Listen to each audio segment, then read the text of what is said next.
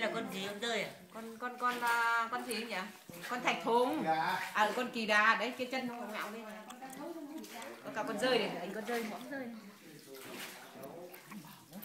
Nó chui từ bao giờ mà cái này thành đấy đó. Cái đời đời kỳ ngạo cách đây là nghìn năm rồi chúng mình chưa đi hát. Đây đây đây cái nhà nó cô đây nó nó đã thành nhũ đá nha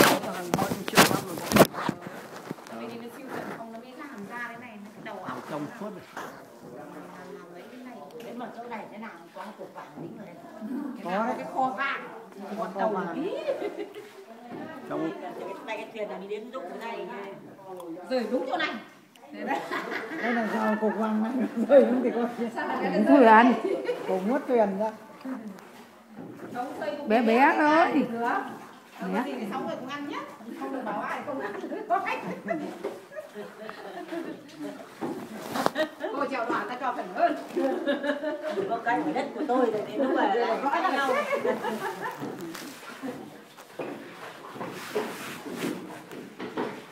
nó hỏi mắc bóng điện nó không có tối có chứ nó phải làm này thì là thành quả riêng Phải đầu tư vào này tốn lắm.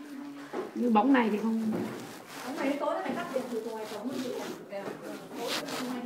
Ừ. ừ, nó tiết kiệm gì không Đây là hại bóng. tiền Đánh đánh thì muốn để đúng ai thì đấy.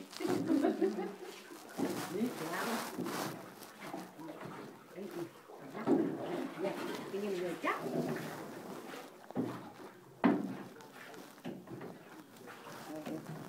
lõm lõm không chứ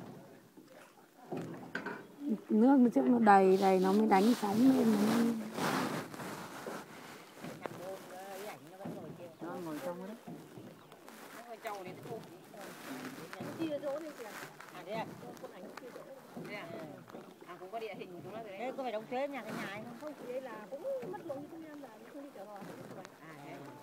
à nó chia chỗ cái ngày ngày ra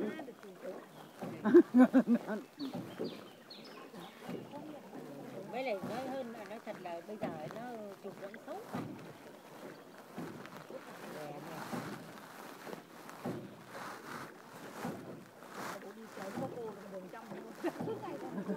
nó cho nào Ừ, nhưng mà nó ngồi thế nó không mệt gì có hôm nó lại đỡ có hôm mà thì mình cũng chết đi chị ạ. Chết lại. Mấy triệu? Mười lăm nghìn triệu hả? alo dạ. À, anh lấy gì? Xin, xin hỏi xem anh lấy gì? Điện thoại có thể lấy alo vâng. Vâng. nghỉ đi lễ ngày mai. Vâng anh lấy gì anh?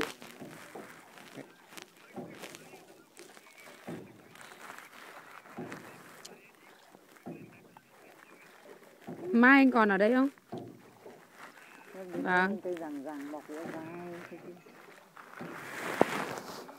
Anh anh. Vâng sáng mai em mới ra hôm nay em nghỉ. Vâng không không thì, thì anh mang ra chỗ cửa đi anh đưa cho đứa em gái em nó cần nhờ- nhận máy hộ cho đi xong ngày mai em lên em cầm xong em xem em bảo sửa cho bảo nó nghe điện bảo Anh- anh- anh- à, anh ở trong bãi à? Ờ, anh nếu đã